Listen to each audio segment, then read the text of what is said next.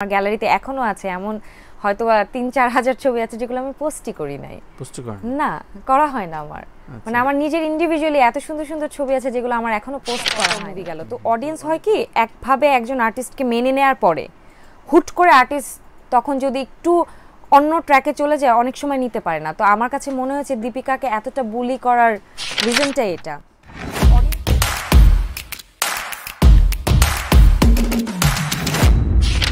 আমার অবশ্যই মনে আছে আমার জীবনের ফার্স্ট বিলবোর্ড হচ্ছে আড়ংয়ের এটা দুই হাজার দুই হাজার তেরোর শেষের দিকে চোদ্দ শুরু একদম। আড়ংয়ের ফটোশ্যুট করলাম। আমি জানতাম না কোথায় কোথায় বিলবোর্ড হবে। তখন মগবাজারের এবং সৈনিক ক্লাবের বিলবোর্ডটা হচ্ছে সবচেয়ে বড় বিলবোর্ড ঢাকার মধ্যে। মগবাজারে অনেক বড় করে একটা বিলবোর্ড হতো এবং সৈনিক ক্লাব একটা বড় বিলবোর্ড দুটোতেই আমার ছবি ছিল। এবং সলো ছিল মগবাজার একদম আমি দাঁড়ানো। হ্যাঁ, হ্যাঁ। তো ওইটা ছিল আমার প্রথম বিলবোর্ড আসলে ফিউচারটা প্রেডিক্টেবল না আনপ্রেডিক্টেবল কখন কি হয় আমরা জানি না বাট রাইট নাও এই মোমেন্টে যদি আপনি আমাকে জিজ্ঞেস করেন আমার এই মোমেন্টের অ্যান্সার হবে আমি ওই যে বললাম সব কিছু একটা সময় থাকে। আমি যদি আমি এমন না যে লাইফে হতাশ হইনি ডিসঅ্যাপয়েন্টেড হইনি হই কিন্তু আমি প্রচুর সময় নেই ওই সময়টা। যে যখন আমার খুব খারাপ টাইম যায় তখন আমি একদম নিজেকে নিজের মতো করে সময় নিই চিন্তা ভাবনা করি এবং ওইটাকে যতটা সুন্দর করে ফাইট করা যায়। ফাইট করি এবং এটা না যে ফাইট করে ছেড়ে দিব আমার আমি খুব জিতি আমার কথা হচ্ছে আমি কাম ব্যাক করব। আমি সময় নিব আমি নিজেকে স্টেডি করব অ্যান্ড আমি কাম ব্যাক করব। আমি হেরে যেতে খুব অপছন্দ করি। আমার কথা আমি সময় নিয়ে কাজ করব আস্তে ধীরে করব বা খুব স্টেডি কাজ করব। আমার হচ্ছে আমি খুব ইন্ডিভিজুয়াল ডিসিশন নেই। আমার ডিসিশনটা আসলে আমি আমার বাবার কথা শুনি মায়ের কথা শুনি বন্ধুরা আছে ওয়েল উইশাররা আছে আমি সবার কথা শুনি।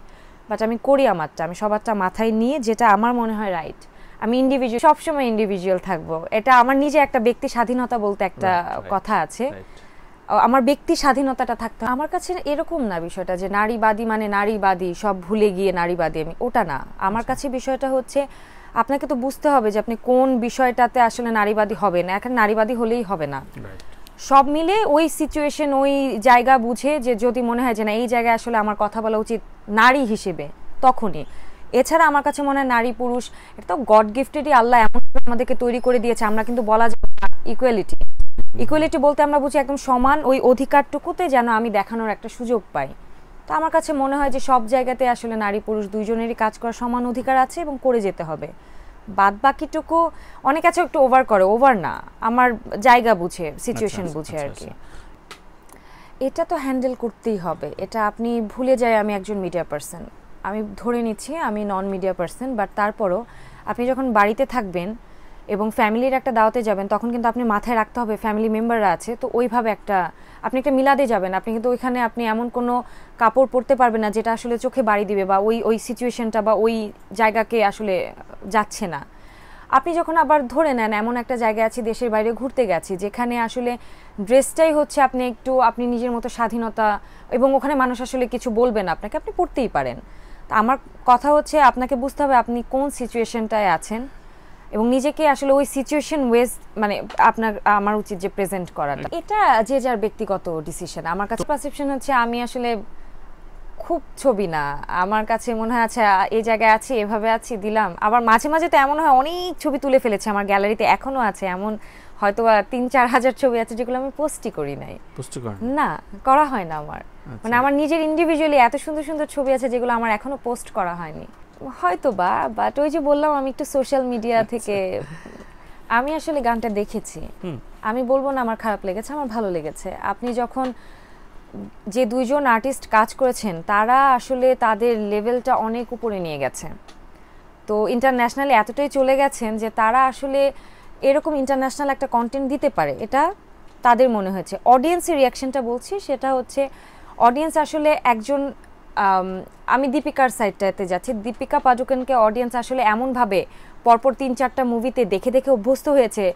রামলীলা তারপরে গেহরাইয়া বলছি না গেহরাইয়ের আগের মুভিগুলো আমি বলছি। যে গেহরাইয়ের আগে যে মুভিগুলো ছিল ওই মুভিটার নাম কি? অ্যাসিড ছিল। আম- আমার খুব পছন্দ হয়েছিল আমি আমি নামটা ভুলে গেছি। সঞ্জয় লীলা বানসালির তো কয়েকটা তিনটা পরপর মুভি গেল। তো অডিয়েন্স হয় কি একভাবে একজন আর্টিস্টকে মেনে নেওয়ার পরে হুট করে আর্টিস্ট তখন যদি একটু অন্য ট্র্যাকে চলে যায় অনেক সময় নিতে পারে না। তো আমার কাছে মনে হয়েছে দীপিকাকে এতটা বুলি করার রিজনটাই এটা। অডিয়েন্স হিসেবে আমি আসলে দীপিকাকে ওই যে রামলীলার দীপিকা আজিক হ্যাঁ, তো অডিয়েন্স ওই রকম দেখতে দেখতে দেখতে অডিয়েন্স আসলে দীপিকা পাডুকোনকে ওইটাই চায়। ওখান থেকে বের হয়ে যখন দীপিকা পাডুকোন গেহরাইয়া করল আমার কাছে মনে হয় অডিয়েন্স ডিসঅ্যাপয়েন্টেড হয়েছে যে আমরা এই দীপিকাকে চাই না। এরপর যখন পাঠানের গানটা করল বেশরাম অডিয়েন্সের মনে হচ্ছে না, এই দীপিকা চাই না। এটা আসলে অডিয়েন্স নিয়ে নিয়েছে তাকে ওইভাবে। সেই জন্য বুলিটা করছে। তাদের কাজ খারাপ হয়নি। মেঘলাকে তো নেওয়া বাকি এখনও। অডিয়েন্স আসলে ওয়েট করছে যে হয়তো বা আমার এটা তো অডিয়েন্স ডিসিশন নেবে। এই মুভিটা আসুক অডিয়েন্স দেখে আসলে আমি তখন বুঝতে পারব অডিয়েন্স প্রোডাকশন বড় ছোটর বিষয় না। বিষয় হচ্ছে আমার ওই যে স্ক্রিপ্টটাতে ওই সাহসী ক্যারেক্টারটা ডিমান্ড করছে কিনা স্ক্রিপ্ট ওয়াইজ এমন অনেক মুভি আছে যেটাতে আপনি দেখবেন যে একদম অনেক সাহসী দৃশ্যগুলো আপনার কাছে খুবই সাবলীল, সামঞ্জস্যপূর্ণ লাগছে। কারণ হচ্ছে ওটা স্ক্রিপ্ট এত সুন্দর করে তৈরি করা হয়েছে সিচুয়েশনটা আপনার কাছে অটোমেটিকই মনে হচ্ছে হয়ে যাক না। সেই আস্থার জায়গাটা আসলে আস্থা রেখে কাজটা করতে হবে। পরে বোঝা যায়, একটা ইন্ডাস্ট্রিতে আপনি যখন একটু কাজ করা স্টার্ট করবেন, কিছুটা তো বোঝা যায়। আর ব্যাকফায়ার করলে তো তখন আর কিছু বলার নেই। ওটা আসলে লাক আমার কাছে মনে হয়। বাদ বাকিটুকু হচ্ছে ওই আস্থা রেখে কাজ করতে হবে। আমি তো নিশ্চয়ই জানি না যে আমি বাংলাদেশে প্রথম প্রজেক্ট করলাম। আমি তো আস্থাটা রেখেছি যে এই প্রজেক্ট ভালো হবে কারণ আমি শুনেছি স্ক্রিপ্ট এরকম কাজটা এরকম হচ্ছে। এর আগে তো কাজই করিনি। তো আস্থা রেখে কাজটা করে গেছে আমি এখন নিজে দেখলাম যে হ্যাঁ যেরকমটা আমি এক্সপেক্ট করেছি কাজটা ওরকম হয়েছে। ওই আস্থাটা রেখে আসলে কাজটা করতে হবে। আমি আসলে এই ব্যাপারটা নিয়ে তেমন কমেন্ট করব না। আমি আমি জানি না আসলে দিঘির সাথে কতটুকু কি কমিটমেন্ট ছিল। বা রায়হান রাফি যেটা বলেছেন যে দেখে একবারই এসেছিলেন তারপরে আর নাকি যোগাযোগ করা হয় না সে এটা স্টারডামের জন্য পেয়েছে।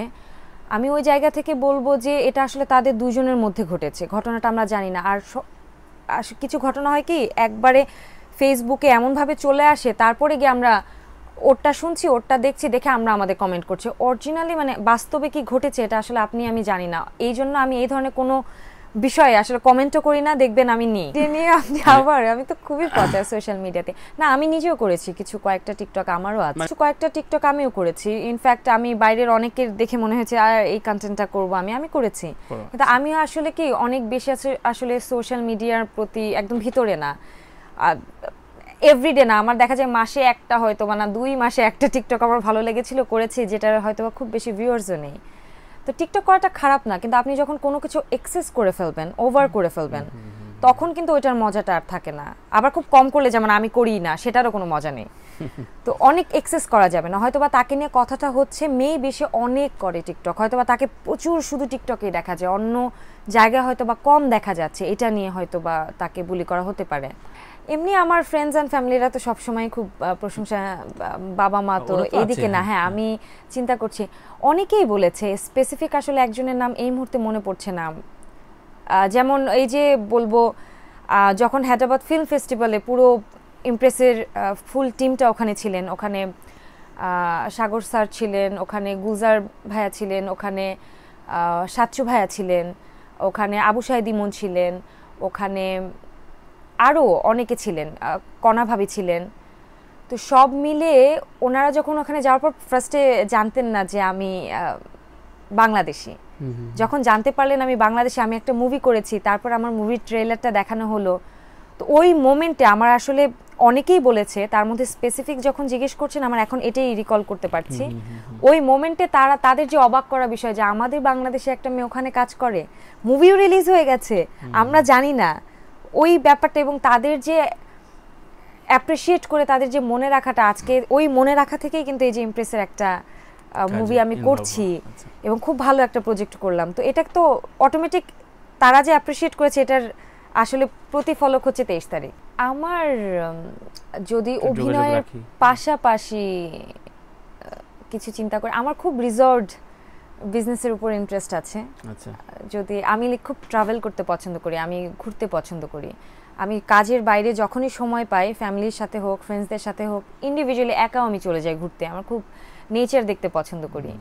তো আমার কাছে মনে হয় আমি যদি অভিনয়ের পাশাপাশি আমি কোনো বিজনেসে ইনভলভ হই আমার মনে হয় আমি এই ধরনের একটা বিজনেসে ইনভলভ হতে চাই। আমার অবশ্যই আমার প্রথমে দেশের প্রতি একটা ক্ষুধা আছে যে আমি ন্যাশনাল অ্যাওয়ার্ডটা পেতে চাই এটা আমার ক্ষুধা আছে. তো এটা একটা ক্ষুধা আছে। আর ডেফিনেটলি আমার বাইরের অস্কারে যদি কখনো নমিনেট হতে পারে ওটা তো আসলে বলার ভাষা প্রকাশ রাখবে না। আমি ডেফিনেটলি এই ক্ষুধাটা আছে।